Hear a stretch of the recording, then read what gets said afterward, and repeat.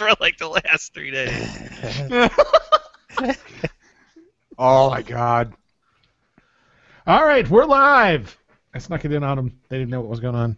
Anyways, this is linuxinstall.net, episode 102. I am your host, Brian Wagner. With me are my co-hosts, Mr. Joseph Leuzzi, Hello, Brian. Mr. Greg Martin, What's up, interwebs? And the newest member of the Linux install crew, Mr. Walt Jevack. Hey. All right. So, um, I'm going to start off because I actually did something with Linux this week, not just. Oh yeah. I actually got to play. No, I've been playing with Linux the whole time. Is that even legal, Brian?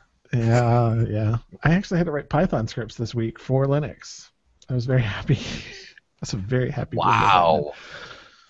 Admin. Yep. Yep. Nobody else could figure out how to write a Python script. Don't ask me. Because Anyways. because it's so hard. It is that difficult. It wasn't PowerShell, so they didn't have to do it. I was gonna say because they know PowerShell. Or VB. VB's or close. C sharp. There's a couple of them know C sharp pretty well. Anyways, so uh, besides doing that, I also managed to get finally Google Drive working on my Linux machine. And I thought this project was new until I actually went and did some research on the project itself. And I guess it's been around for a while, and I just somehow missed it. So I downloaded the software. Um, it's called Grive, and it you know puts up the whole little googly icon on your task bar thing in your notification section. Um, it does actually sync all of the real, not Google Docs docs. That's the only thing. It doesn't do Google Docs. Doesn't sync Google Docs. Um, but any real documents, photos, anything else that you put up there, all get synced without a problem. It pulls them all Do- down. It keeps them in sync. Is there a reason it doesn't do those particular docs?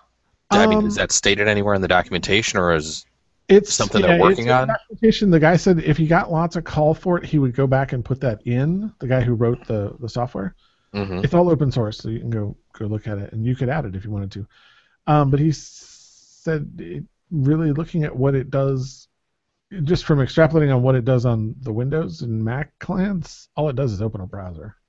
So it's not. He's like, I could do it. It wouldn't wouldn't be too much work, but it doesn't seem to have a lot of benefit. If you got to open the browser anyways to get to be able to see the doc, you might as well just go to the website and open Right. it there. True. True dat. But for instance, those Python scripts I was editing the Python scripts on my Linux box and sending them to other people on my Windows box. Because I don't know why, actually, because I Because you wanted to be different.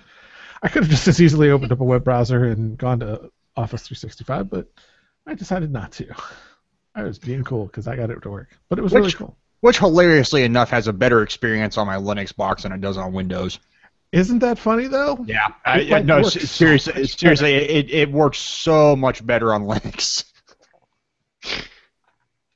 Um, yeah, if you're ever thinking about trying Linux at work, um, if you're a Linux admin and you're stuck with a Windows laptop because, well, that's what the whole company uses, you could actually, if you're on Office 365, you could easily get away with just using the browser-based version of Office. It works really well. Firefox or Chrome both don't have any problems with it.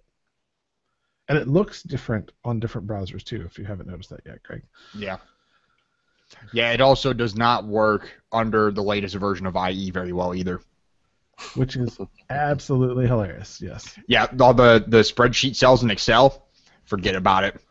You type something you type something in and it like literally offsets the cell by like two pixels, and then the next one over is further down and it gradually slopes.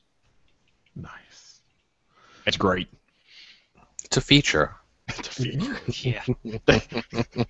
The sand sloping spreadsheet. Yep, it's still not good enough though that I'm gonna leave uh, Gmail anytime soon.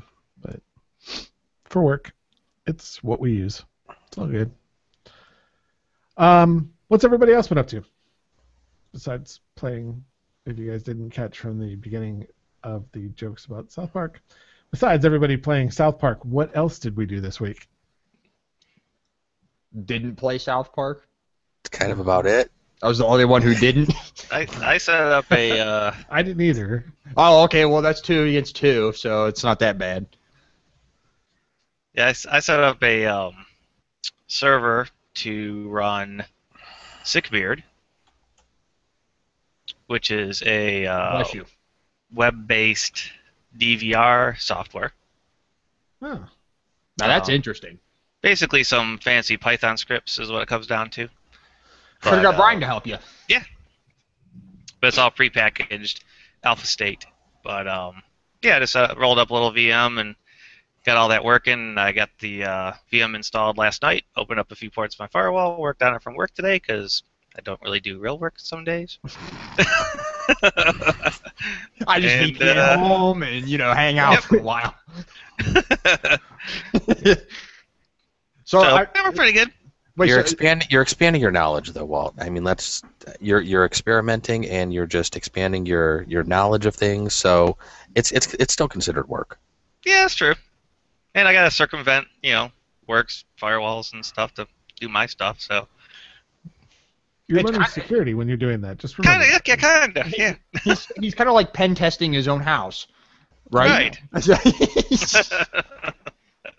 Wait, so, so So- it's so it's a DVR solution. I mean, do you do you have like cameras in your house, like IP cams, or are you doing it with something else? no, for TV, Oh, okay. um, and then it accepts multiple sources um, from where the video can come from. Hmm. I haven't gotten as far as to actually pulling the video yet, but I got all my shows scheduled. It scans like uh, the TV database and IMDb for information, and it populates all the story info, and you can use it to keep track of like which shows you've watched if you have to go back and like you know check other ones and stuff. So it's pretty cool. Wow. So you just do you have any tuners to hook up to it, or Yeah, I have a HD home run um, dual tuner that I might Okay. see how that works, and then um, you know you can pull from other various questionably legal sources. That like aren't Aereo? that We're aren't in the talking about things like Aereo, right? Right. Well, that's questionably illegal now too. That's what I was saying. It's a large corporation, but still, they've lost some significant lawsuits recently. I don't. I still don't understand how they're losing, but Just keep using them until they blow up. uh, I'd like to use them, but they're not offered.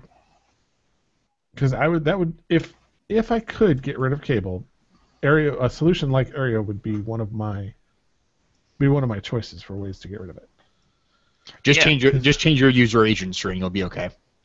I mean, we've been looking at that, or a buddy and I, another friend, um, we've been watching that for like a long time now, waiting for it to come in our area, which now looks like it's never going to happen. Right. It's been coming Um, soon for a year now. Yep. Bud got uh was it HD head end I believe it's called the Linux backend to record, um, which integrates with X- XBMC. Uh, So you can watch live stream TV and then record and stuff, and it's got the you know scheduler and whatnot. And that works okay. Um, I'm probably gonna end up setting up a Myth TV server again because it's just the best, I think, out of all the free solutions. And isn't there still there's a front end uh, plugin for XBMC to Myth, isn't there? Yep. What I thought. Because the only thing I didn't like about Myth was the, and it's probably gotten better since I looked at it last, but the front end was pretty um, engineered, designed. Yes, yes. Well, I mean, the nice thing, I mean, depending upon your time frame, you can have it record and then transcode and place the files in any folder you want that any other media playback player can then read and play back. So, I mean, even if you had like a Western Digital, you know, uh, live player, or you know, you're running Plex, you know, as long as the files get dumped in the right place, you know, it'll it'll still pull it out. So you don't necessarily even have to use their client. If, uh, which I probably Right. wouldn't. You know, I'd use XBMC like you said, with just with the the backend plugin. Right. And the only because the only thing I would need to connect to Myth for, because you could do all that scheduling some other way. The only reason I would need to connect to that is to watch live stream stuff and be able to pause live TV. Right. Yeah, I can't tell you the last time I watched live TV. Is it really Other called than the live? news. I was gonna say, is it really called live TV? I mean, is it really live if it's pre-recorded? No, I'm. Well, I mean, there's that. I guess people watch the Oscars. I didn't, but I hear other people did. What's the Oscars? Yeah. I, I, I don't know. He's this talking little he's this little green thing that's in a can on Sesame Street. Hey, you know what? He was awesome. All right. I grew up with that guy. Um, yeah, the the event that's called the Super Bowl for women. That would be Super it. Bowl for. That's how it was described. My my mother's, and I guess they did take down Twitter during the Oscars. True. My mother was trying Really? to. Yeah. Oh, you hadn't heard that, Greg? Yeah, No. I heard they were actually having issues. Holy Yeah. shit, Everybody man. was talking about it. it's the first time we've seen the fail whale in a long time. Yeah. Fail And it- whale. And it only Yep. happened for a few minutes, and they were back. Yeah, Ellen tweeted a selfie. That's what took it down. Right. Oh my god. Well, it was more than just a single selfie, though. She was. Well, yeah, it was kind of And it was very staged. bound, but still. It was Yeah, a very think? staged selfie. You think? There was nothing real about that at all. That and the pizza that they had delivered. So, um, so wait a minute. So that was Walt. Joe said nothing.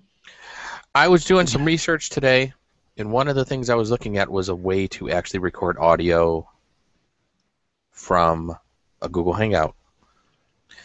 Cool. And one of the podcast websites that I ended up on, some guy said he was using like Sony Sound Studio or something. I'm guessing like Acid Pro to do some of the recording.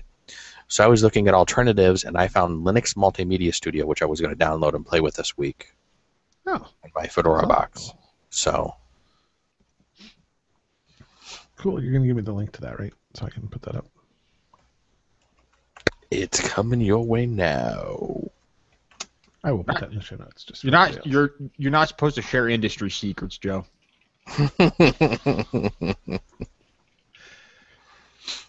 So,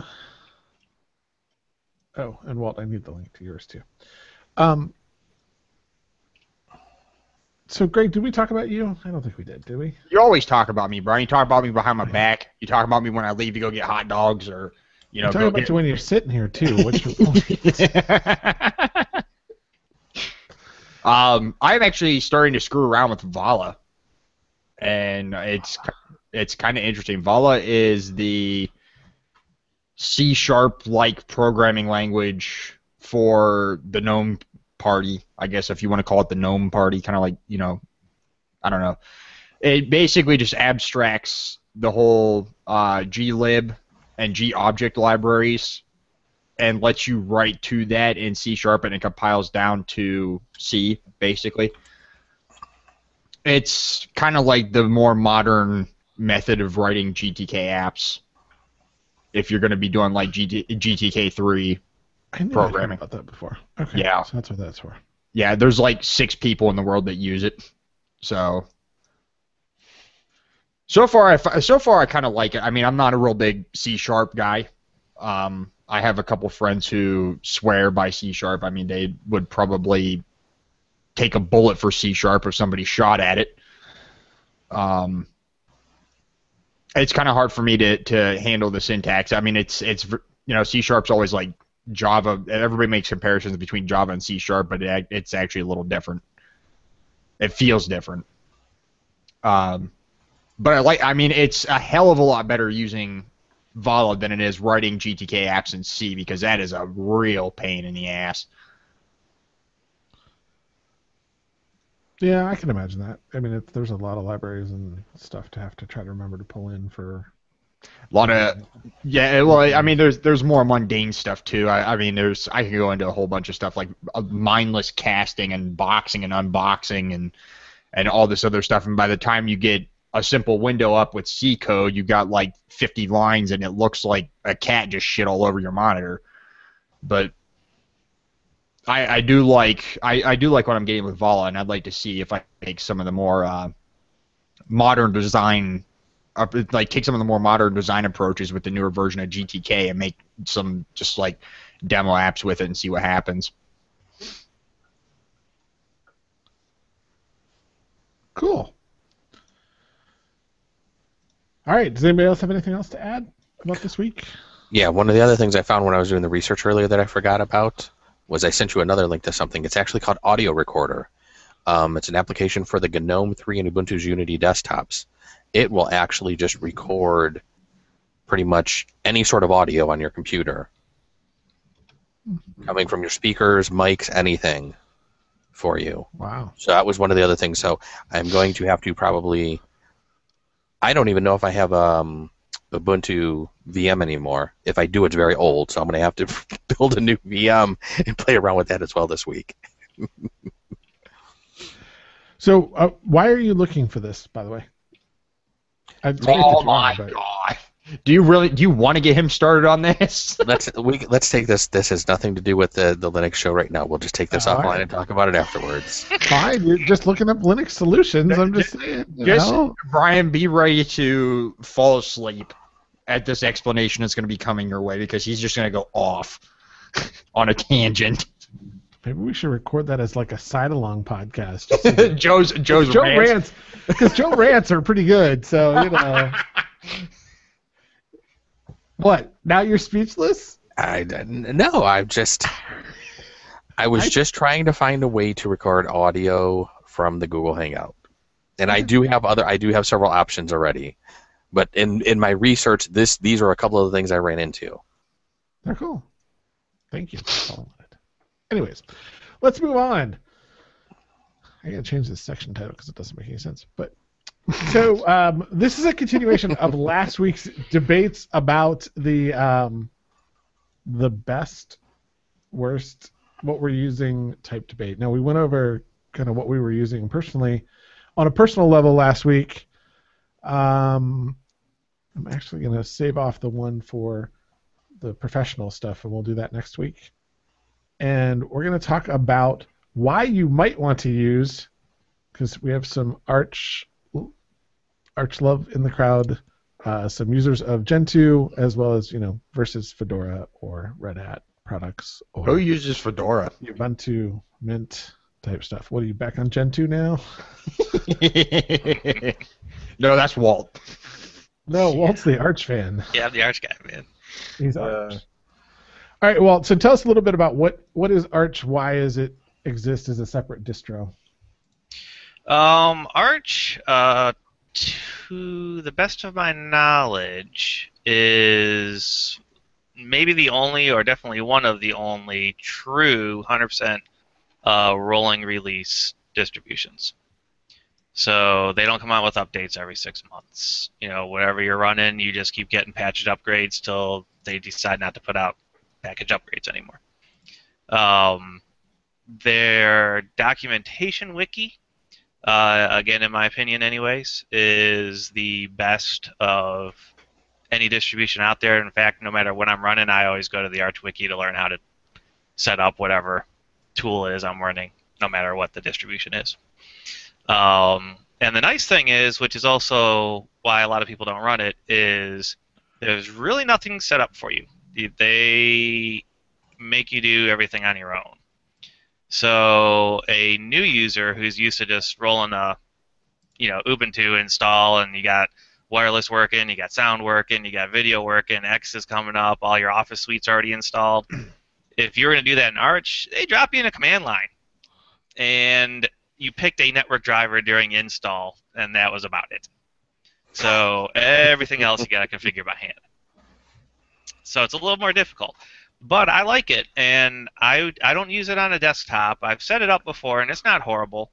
Um, but I love it for servers because you start with a bare minimum, no frills, nothing base, and when you install a individual application that you need, um, it's not going to have all this other package stuff that goes with it and then because you have to actually configure it, you know exactly where the files are being stored, you know, you know where your configuration is, you know which user is accessing it. Mm-hmm. So it forces you to be a little more hands-on.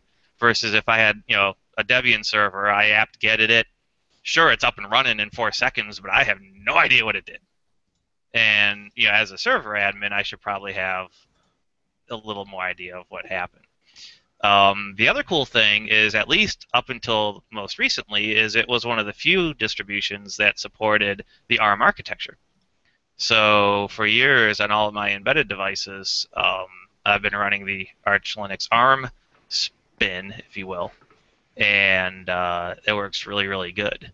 Um, Debian did it. Was the other its competitor, I guess, or alter, alternative option, but um, it wasn't nearly as complete until the latest, you know, within the last year, where everybody jumped on the ARM bandwagon, and you know now you got better support across the distros. But Arch did it for years, and it, they they did it really good.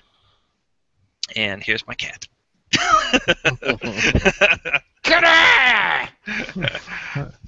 so whenever I need to set up a server, with rare exception, it's going to be an Arch server With a cat. with a cat. Yep. And he's trying to chew my microphone cord. I've always thought starting people off on the easy stuff, like Ubuntu or eh, even CentOS or Fedora, is pretty simple to set up. Like everything pretty much sets itself up. But you just made a relatively good point of, you know, you probably should understand where the file, at least where and what's in the files for the stuff that you're setting up. And honestly, um, networking can be a bit hairy. But besides networking, Apache or MySQL, I've set those all up by hand because the tools didn't exist to do it any other way before. Correct. Um, I'm when same boat. when I started, they didn't exist, so I didn't have a choice. I had to do it by hand. Um, and all of those are relatively easy to set up. Beyond that, I mean, you know, you have to you have to do a little reading, um, and they aren't tuned necessarily when you get them functional. Right. There's a difference between functional and functioning, Right. um, or optimal, as far as that goes. Right, Joe? Joe knows all about See. optimizing configurations. See, he gets to fight with software every day. Well, and the nice thing too is I have, you know, uh, students that come to me for Linux help, and they are doing everything through some sort of GUI that, you know, Fedora is going to do it differently than Ubuntu is going to do it, or the tools may not even exist from one distro to another. And doing this basically everything through command line for the most part with you know bare metal for lack of a better description applications you're gonna be able to set it up wherever you want to set it up so you know you're learning low level knowledge did you, So- tell him, did, did you tell him GUIs are for wussies?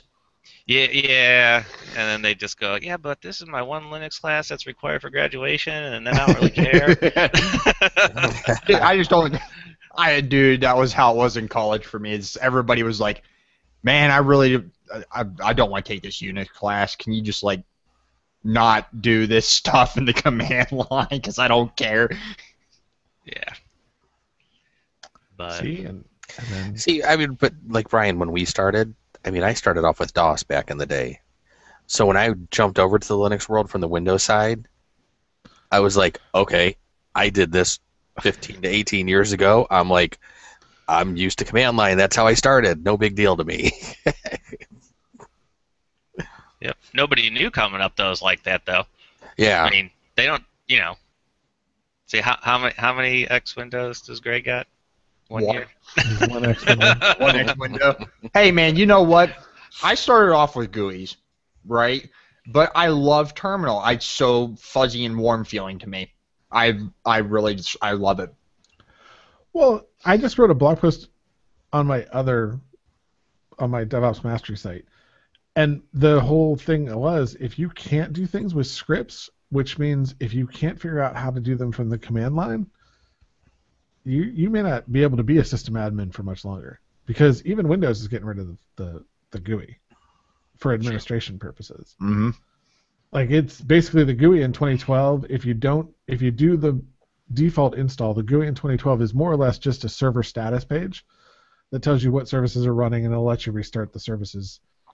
Um, that's it. Anything else you want to do, you want to change network addresses, you want to do anything else, you better know PowerShell and you better know how to do it.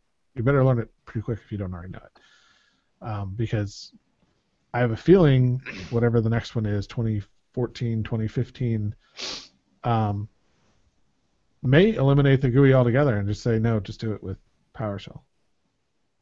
So- Isn't it funny how the Windows guys just cringe when they think about that? Most of them. I, I I don't know if they'll ever get rid of it fully. They may strip it down, and there may be well, you have the option to now install it headless, which is basically just you know Oh, yeah. command line. I have a feeling they'll stick with that. I don't know if they're going to get rid of the GUI altogether. It'll be interesting to see what happens. Well, they may bring back the, the classification of small business server and leave that with the one as the GUI and call the enterprise server not do it. I could see them doing that. Because a That's a small possibility. business, a small business wouldn't necessarily have the skills, have the people with the skills to do. Right. Well, you know what? They're not going to do that. You know why? Because that's probably the smart thing to do. So now that you said that, that's just gonna that's yes, Thanks, Brian. that can't ha- that can't happen now, because that makes sense. It does. Yes. I'll agree. It does. It does make sense. So they're a large corporation. They can't make that decision. That's correct. Um. All right. So who can talk about Gentoo, or do I have to? I think you have to.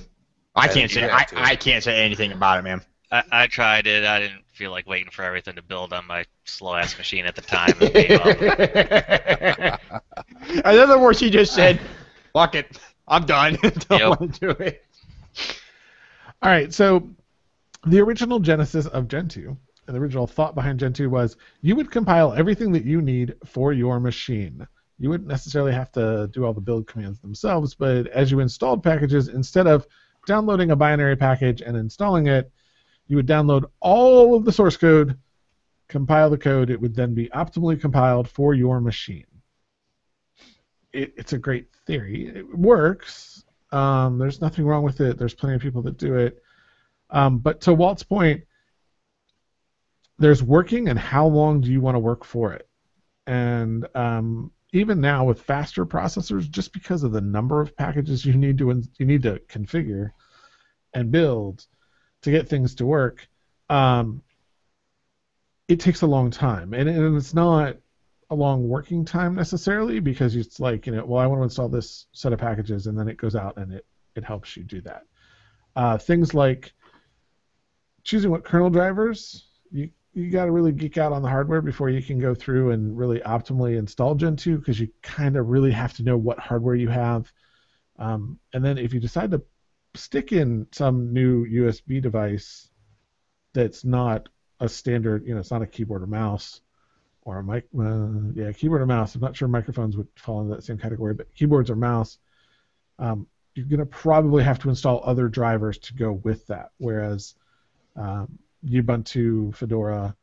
I'm not so sure about Arch, but Ubuntu and Fedora would have those drivers kind of built in. Arch probably depends on what it is. Yeah. Um, and so you know Fedora and Ubuntu derivatives, you know, of Red Hat and and, Ubuntu, and Debian really, not Ubuntu, but Debian, have large groups of stuff that could be installed. And the other ones, the further you get away from Debian, for instance, like when you get to Linux Mint, the more stuff, the more extra stuff that's installed, whether you want it or not, whether you need it or not. And so the idea with Gentoo is Gentoo is Gentoo and Arch share that minimal possible, but Gentoo takes it to that next level of where you're going to compile everything optimally for your CPU, for your uh, controllers, your PCI bus, everything. All your chipsets on all the chips on your machine, all your chipsets, video drivers, everything is compiled to order for your machine. In reality, you should end up with a super fast machine, and you probably will. Oh yeah. But it, it will take you a really long time to get there, and you know what? Installing an SSD will probably get you as much performance gain. Well, you, when the package was, uh, or the you know distro came out 15 plus years ago, squeaking every little bit of performance out of hardware was really important. right. You know, and like now, like you said, with the advances in technology and everything so cheap, you know, unless you're doing something where you still need that level of tweakage.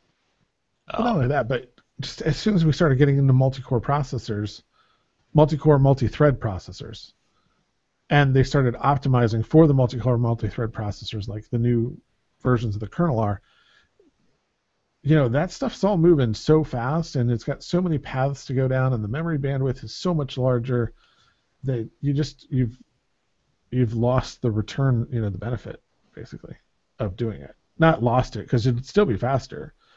Um, and if i was building you know when i would use it if i was going to build like a core i7 machine with 16 gigs of ram to mine bitcoins with like 16 different video cards in there or however many i could cram into the machine and I wanted to optimally get all the drivers tuned and everything, that's when I would use Gentoo because it would be super fast, super efficient, wouldn't be wasting a lot of time. But I'll bet the right person installing Arch could probably get almost as much performance. Probably not lose that much. It'd be close. So, so that's Gentoo. Hopefully, everybody's heard about Fedora and Red Hat. Does anybody? Nope. Don't know what you're talking Nope. about. No, no, I can't say. Red Hat. But That's a distro. That's What a are they- oh. distro. So Sorry. one of the important things to point out is all of these could be, although it depends on where they're at in their cycles, but at certain points, all of them are running the same version of the kernel. So they're all running the same base thing. They may not all be running the same packages on top, but they'll be pretty close generally. Um, I can't think of what else I was going to say about that. Oh, package managers are, are the big difference between these. Arch has Pacman, Yep. correct? Mhm. I cannot remember what Gentoo's is now. Gentoo has its own. Yep. Um, that I don't remember. Sorry, folks. And Fedora, Red Hat derivatives are RPMs, and Ubuntu, or really Debian derivatives, are apt. Or Portage. That. Yeah. Is that Gentoo? yeah, I was just looking it up too. Thank y'all. Mm-hmm. So here's a little fun fact about Fedora, and I don't know if you guys know this or not. Did you know Fedora's name actually came from the group that submitted packages to Red Hat Linux called Fedora Linux? No. Yeah. Nope. There you go.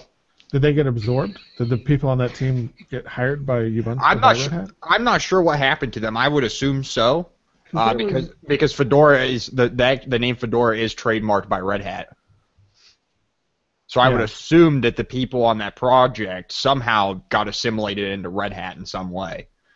Well, most of the developers on Fedora work for Red Hat because Fedora is their farm team. Mm-hmm. That's where they do. I mean, for all intents and purposes, like we were talking about last week, that is the upstream from Red Hat versions of the server. So it um it makes sense that they would work for them. I mean, that's where the majority of the stuff. Not where all of it comes from though, because there's a large portion of Red Hat stuff that is not is done by outside companies Mhm. um, the likes of IBM, uh, Hitachi, a bunch of the hardware vendors, all write drivers specific to that version um, of Linux, as well as IBM has certain arrangements with them for running Red Hat on the mainframe. So there's some extra stuff on there because you can actually run Red Hat Linux and SUSE Linux bare metal on the mainframe if you really wanted to. It works. We do it. Well, you're doing it with the coprocessors, aren't you? You aren't We're doing it with the IFL. the IFL, right? Which is kind of a coprocessor, but you can actually Right. run it. On, yeah, I, I think there's a way you, you can. Yeah. Which is kind of funny because I'd rather run it in the IFL because that makes a lot more sense. Because the IFL is supposed to be really fast. But, anyways, um, so what does anybody have to say about Fedora or Red Hat? I mean, I, I wanted to introduce Arch and Gentoo. Um, Joe and I think I'm the only Debian Ubuntu type fan. Joe and Greg, you're both in the Red Hat camp, right? Amen, brother. Yeah. I mean, I used to use Mint a while ago, but I kind of switched over to Red Hat. I mean, especially since that's pretty much what we're using at work now. And that's why I think I kind of just got back into Fedora a little bit more, sticking with that. Like we said last time, I do Ubuntu for my desktop because it's easy. So True. is, Fed- so is True Fedora. Fedora's easy for desktop. You know, I yeah, Fedora is easy, but Fedora doesn't look that good. Are you kidding me? I love GNOME 3, man, and I'm probably the only person who will openly admit that I love GNOME 3. Now, I just I don't know. For some reason, Ubuntu has better graphics. People, The graphics look a little better. the, the you gotta remember, font- I'm coming from the Mac, man. The No, Mac, you're- you're is- spoiled. Is, You're the epitome of of really good design, good yeah. I, visuals. I, I will say this: the Ubuntu. It seems like, and this I, I'm not up with the technical on this or anything like that. It seems to me like the font rendering in Ubuntu just looks a lot nicer than it does in Fedora, and I'm not sure why. It just looks a little bit different to me. From what I've read before, it's choice. It's it's the choice of fonts. It's not necessarily the rendering itself. Okay. I was just gonna say that. Because I use because I use uh, I don't use Cantarell on Fedora. I use Caldera, which is I think is one of the newer fonts that they put out for 20. And then when I'm on Ubuntu, I use their actual font, like the Ubuntu font the, with you know the mono and all that other kind of stuff too. But I use Ubuntu Light. I don't use the book size. And I always have the hinting down to like slight and RGB. It just looks better. Yes. But I still like my GNOME 3. I don't mind GNOME. Um, I don't mind GNOME three. I'm not a huge, even though I use Ubuntu, I'm not a Unity fan. Um, so I usually end up switching to. That's why I've switched to Mint. Mm-hmm. Plus, Mint has that whole bunch. Okay, so I said before, the farther downstream you get from Debian or Red Hat, for that matter, the more stuff that's pre-installed, and Mint just installs a whole bunch of codecs and other things that I would just install and configure anyways, but I don't have to because it's already there. At the same time, that also means I have a bunch of junk on here that I probably could get rid of. But my hard drive's so big, It doesn't matter. it doesn't matter. Oh, Uh, Brian- still Brian- And Brian's walking down the street. My hard drive's so big. well, That's okay, just, so that's, it's, that's just like last year, I think it was, when I started playing around with that Amiga Vision, which is basically just um, it was a Mint variant. uh-huh. I mean, and, and that even, I don't want to say it had more stuff on there than Mint. It just had alternative stuff on there to Mint. Right. You know, than what came with Mint. I mean, but like the font and everything like that looked like the old school Amiga, you know, font and everything like that. I mean, it and the windows looked like that. It was it was kind of cool. You know, but it was it was it was Mint underneath is all it was. yeah, but somebody took some time to actually tweak the, Oh, the definitely. window configurations and stuff like that. Yeah. But um. Oh, I'm trying to think where I was. You were bashing on Unity. Yeah. Oh well, yeah. I'm just, I'm not. So I end up putting Mint or something else on there. Oh, the Mint stuff. Like there's stuff on Mint that I'll never use, and I could take the time to uninstall it, but I don't know. And then when I compare my Linux VMs to what I have to do for a Windows VM, I mean, come on. I can install any version, the heaviest version of Linux on less than 10 gigs, on a 10 gig drive, and have tons of space to play with, and a ton more applications. and Yeah. a ton more applications. Yep. and I just to install Windows have to start with a 40 gig VM disk. before you patch it. And Yeah. yes. Pre-patch, 20 Yeah. gig. no Post-patch, apps. yeah, post-patch. yeah, no apps, no nothing. I mean, because when I was running when my last company, when I was running Linux as my OS, and I was using a VM for for Windows, I was dual booting, or well, actually, most often I was had partitioned the drive and I was reading, created a virtual disk out of a physical partition, and that physical partition kept filling up, and I split the disk, and I'm on the Linux side going, I, I got like 10 gig left. And on the Windows side, I'm totally full. Why am I totally full? I don't understand. Oh, it's because we're going to keep every patch we've ever applied to the machine, never delete anything because we might need to go back 12 versions for some reason. I was say you might want to. You might have to do a system restore, Brian. You know, I don't understand it. It's not like I couldn't go download it again. It's not the way it works. You really want to download it again? You want you want to go through that pain of downloading shit through Windows Update? Yeah, I turned on a machine at work today that hadn't been turned on in a year, and there was like 156 Oh, updates waiting Oh, for the first reboot. well, that's the part. Okay, so all right, let's. Well, I guess we'll bash on on. Uh, we might as well, we might as well just keep going, man. We might as well just All keep right. going. That's the other thing that drives me nuts about Windows, right? You're gonna replace all the code that's there anyways. Why do I have to reboot and then download still more patches? Why can't you just give me all the patches at once? Just give me all of them and then tell me to reboot. Yep. That makes sense. But no, you have to download a few patches, reboot, and it's never just a few, but you know, even after their service pack's out. Like you have to download patches before you can install the service pack, which always cracks me up. And then install the service pack, and then install more patches after the service pack. Yep. Because you, Yep. 'cause, you know, unless you're installing the month the service pack came out, there's been a patch Tuesday, Yep. Like today. Yeah, like today.